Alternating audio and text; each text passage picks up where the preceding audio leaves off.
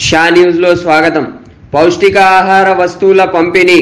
Lokeshwara mandal Shah news reporter Shabbir వివరాల ప్రకారం లోకేశ్వర మండలంలోని అబ్దుల్లాపూర్ మరియు కన్కాపూర్ గ్రామాలలోని అంగన్వాడీ కేంద్రాలలో మంగళవారం రోజున పౌష్టికాహార వస్తువులైన గుడ్లు బాలామృతం బియ్యం నూనె పప్పులు తదితర వస్తువులను పంపిణీ చేయడం జరిగిందని అంగన్వాడీ టీచర్లు ప్రభా చందారాణి అమృత్ తెలియజేశారు.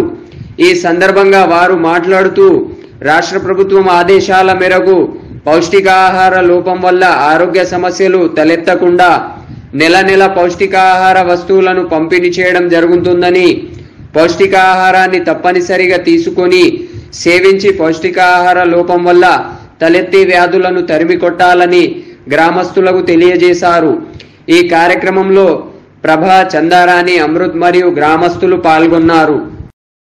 విద్యార్థులకు పాఠ్య పుస్తకాల పంపిణీ. లోకేశ్వర మండల కేంద్రంలోని కస్తూరిబా గాంధీ ప్రాథమికోన్నత పాఠశాలలో ప్రతి ఏటా రాష్ట్ర ప్రభుత్వం ఆరవ తరగతి నుండి పదవ తరగతి వరకు ఉచిత పంపిణీ చేసే పాఠ్యపుస్తకాలను పాఠ్య పుస్తకాలను మంగళవారం రోజున పంపిణీ చేశామని ప్రిన్సిపల్ అనసూయ గారు తెలియజేశారు. ఈ కార్యక్రమంలో ప్రిన్సిపల్ అనసూయతో పాటు ఉపాధ్యాయులు కృష్ణవేణి రాధిక రాణి విజయలక్ష్మి మరియు సిబ్బంది ఉన్నారు.